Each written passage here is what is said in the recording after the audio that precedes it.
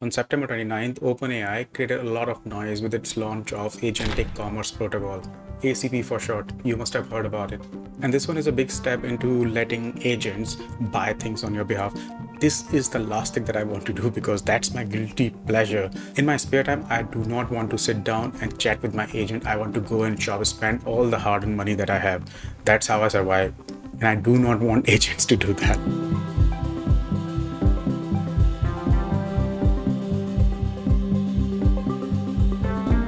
12 days earlier on 17th of September 2025, Google announced something similar. It's called Agents Payment Protocol, AP2. APP. Ah, that makes sense. AP2. Okay.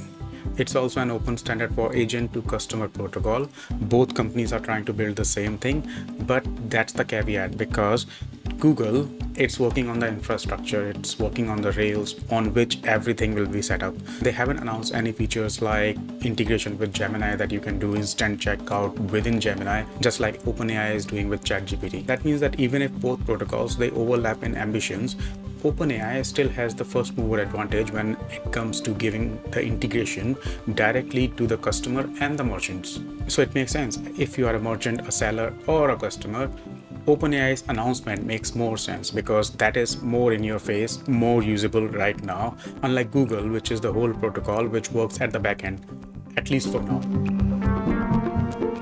AP2 and ACP, both of them they share the same North Star, the same goal they have in their mind, and the similarities are like they are trying to be open platform. They want other companies to build on top of their protocol. They are keeping the authorization and trust at the center, and both aim to be payment agnostic, for example. The differences are more into infrastructure and also, like I said, backend versus front end. Like ACP, which is OpenAI, it's more tied to a product. Everything will be enabled inside of ChatGPT, while there is only a couple of partners as of now, and they are opening invitations to get more partners onboarded. Google is more like defining the whole highway, the whole backend, the whole infrastructure where everything will be set up. Because we are marketeers or business owners or we have e-commerce stores or we are sellers the thing that matters to us is acp more than ap2 and if we look inside acp it powers instant checkout within ChatGPT, which is a big thing actually because OpenAI has partnered with Shopify and Etsy, but right now it's limited to US. And there the users can discover a product in chat and buy it within the app without going to a separate website. And as you can see under the hood, ACP by OpenAI defines the flow between the buyer, the AI agent, the merchant. The agent captures the intent, Stripe, it processes the payment, and the merchant gets the order all from inside the conversation. While OpenAI is also positioning ACP as open standard, that means that developers and platforms can build on top of it. At the launch, it's pretty much a trio of OpenAI, Stripe, and Shopify. All the partners who are within Shopify can get onboarded, and also Etsy sellers. And because I'm in marketing, I'm worried about four things. Four things. So we'll just talk about those four things which are going to impact us marketeers or the e-commerce companies directly. So for example, because of this new development within the whole e-commerce ecosystem, there will be a shift in the consumer journey. People will not have a reason to go visit your brand.com website or the app because everything they can do within the ChatGPT interface itself. So discovery, consideration, purchase, all of these things will happen within the chat interface and that too within ChatGPT, which is a third-party app. And the second one is more of a headache because till now SEO folks, my SEO friends, dear friends, you were suffering with the new things which is LLM recommendations, AEO, GEO, AIO, this O, that O. Now the same thing will happen to people who are in e-commerce, direct response, growth roles. And it was hard enough to figure out rankings within Amazon or Google search. Now you have a third platform. We have to figure out what to do. How do you show up in those recommendations by AI? Because if you haven't tried, if you try to find a product within ChatGPT, a lot of times it hallucinates a lot lot like frustratingly lot so until that playbook is written on how to get ahead of your competitors how to get suggested by ai expect the teams to be running around like a headless chicken trying to win the game in this new system. And after that I have a strong feeling that brand and product awareness will matter even more. And when I said product awareness, that is the product awareness, not just the brand, because people are already within these chat interfaces.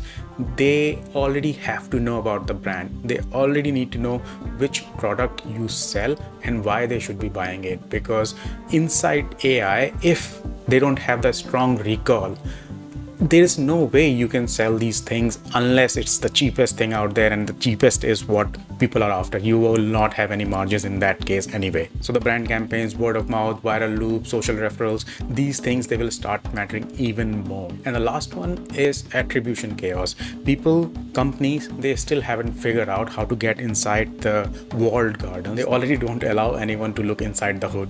So what will happen when everything is happening within this chat platform? People still haven't figured out how to track those recommendations within AI answers. But now we have another platform and now we have to track what's going on inside there. The tools, the companies, the analytics, and the attribution platforms that we have, they need to figure out how to get this done. Till that time, it's just wild, wild west out there.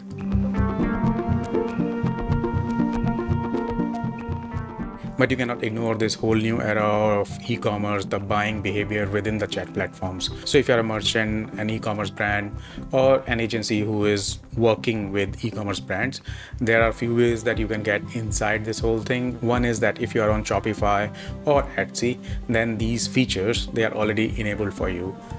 The problem is I went to Shopify to find how exactly I can do that. First of all, I went to OpenAI the whole document where it says how this thing works. And they said for shopify you don't have to apply for anything. Just go and enable. Then i went to shopify to find that option that how exactly i can do it. There's a wait list. You have to put your email send it to them and then they will send you an invite or something like that. So it's still not clear that how exactly shopify users are getting it. Maybe they have just announced it without figuring out how exactly they can execute. And i also tried with etsy. It did not work. So maybe in a few days it will roll out properly in a clean manner where things actually work and they will make it work. Uh, I'm not saying they will not make it work, it's just a news. It will happen. So if you are on Shopify or Etsy, you will get first access while they are getting more partners onboarded. And if you are already on Stripe, there is a good chance that Stripe will integrate more of their existing partners on ChatGPT within OpenAI platform.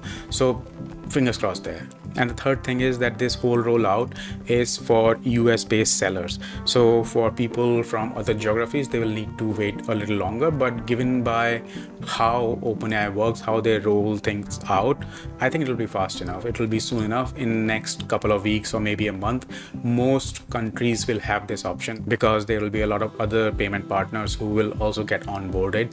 And once they get onboarded well their partners will also get access to chatgpt and the acp so my recommendation to you is very simple. Be prepared.